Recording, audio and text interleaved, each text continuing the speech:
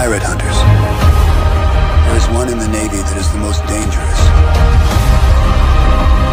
He will not stop until his mission is accomplished.